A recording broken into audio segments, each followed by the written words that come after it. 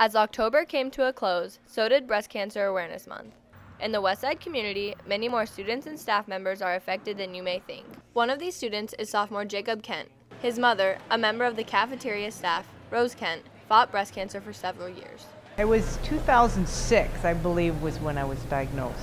The Nebraska Medical Center puts on many events for those who have been diagnosed with cancer, but the Kents prefer to focus on the happier memories. Because it's a bad memory to me. I don't partake in any cancer free things, cancer this. I know the Med Center was where I had my treatments done, and they send things to for cancer survivors, and I went as far away from it as possible because it was a not a happy time of my life and I don't want to be reminded of it. As hard as it may have been, Rose continued to maintain a strong motherly role in the Kent family throughout her diagnosis. She just kind of showed that as long as you believe, you'll be okay and you push through, good things will come out of it.